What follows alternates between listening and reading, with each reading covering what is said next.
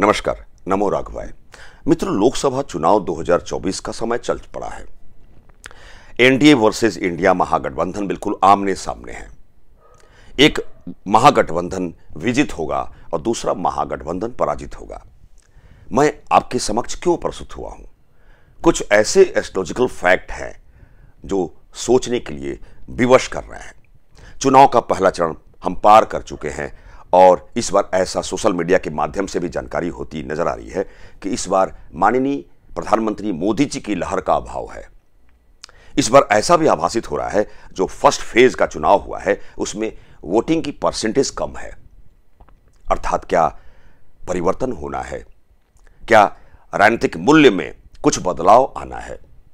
क्या 4 जून 2024 को कुछ अप्रत्याशित रिज़ल्ट की प्राप्ति होनी है?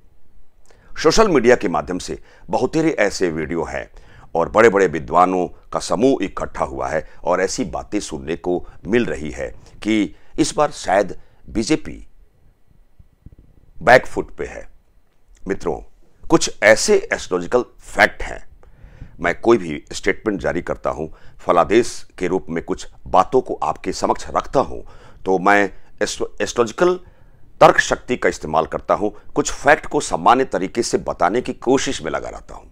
मित्रों, मेरे साथ बने रहिए।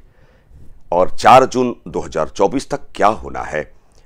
एनडीए वर्सेस इंडिया महागठबंधन में किस महागठबंधन की जीत होनी है और किन की हार होनी है? क्यों ऐसा होना है? कैसे ऐसा होना है? इस तथ्य को एस्ट्रोलॉजिकल फैक्ट को मैं आपके सामने रखने की इजाज़त चाहता हूँ। मित्रों मित्रों का समुदाय जब इकट्ठा होता है या कई राजनीतिक पार्टी इकट्ठी होती है तो मंगल की ही बात होती है और किसी प्लैनेट से कोई लेना देना नहीं है। अर्थात जब 18 जुलाई 2023 के उस मुहूर्त काल में, बड़ा शानदार मुहूर्त था, जब इंडिया जैसी महागठबंधन अपने अस्तित्व में आई थी। 18 जुलाई 2023 को पुष्य नक्षत्र था, जो शनि का नक्षत्र है, बड़ा शानदार नक्षत्र माना गया है और अभिजीत मुहूर्त की उस समय सारणी में 12 बजे दिन में, यह महागठबंधन अपने अस्तित्व में आई। कन्या लग्न की मुहूर्त कुंडली सामने आती है।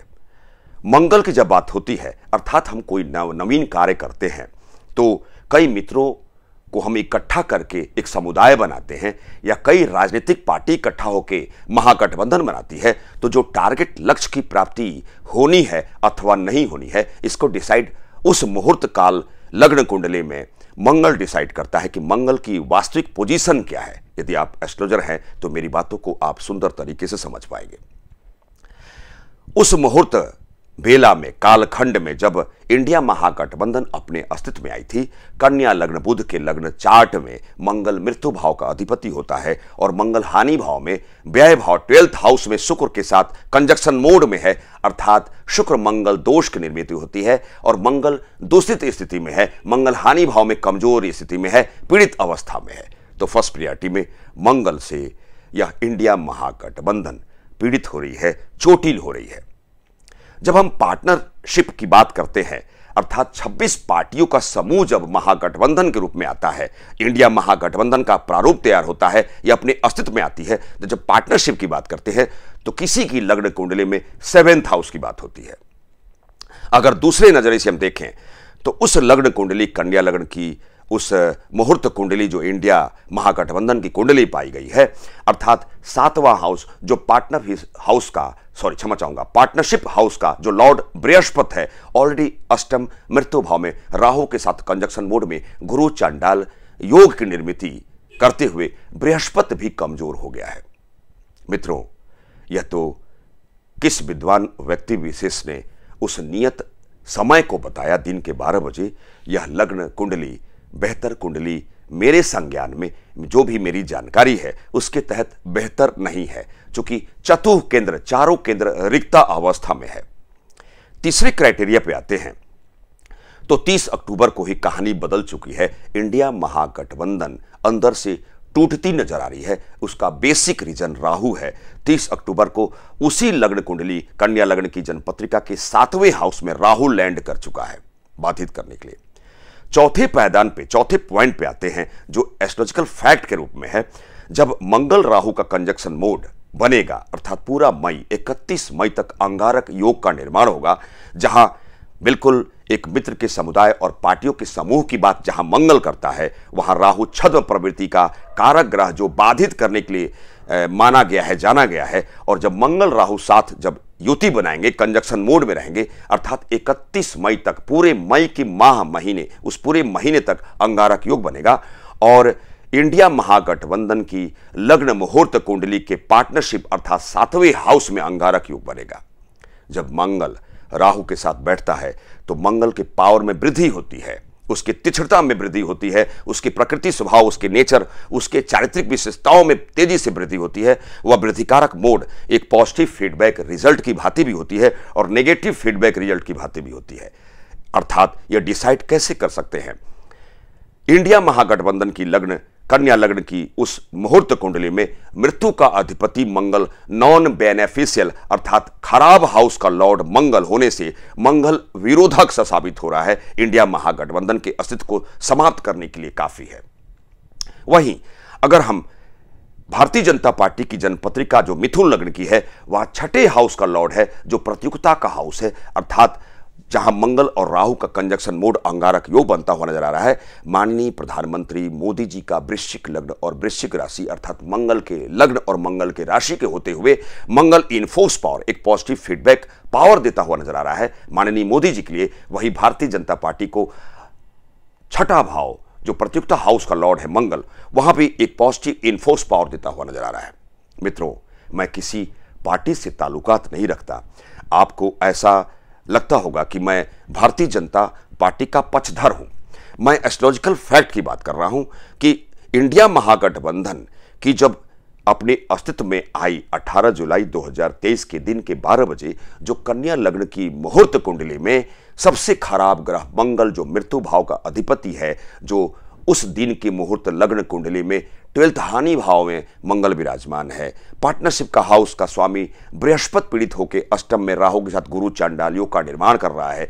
30 अक्टूबर को राहु ऑलरेडी आ चुका है पार्टनरशिप के हाउस में बाधित करने के लिए और 31 मई तक अंगारक योग का जो निर्माण हो रहा है, वह इंडिया महागठबंधन को कमज़ोर करने के लिए पर्याप्त है।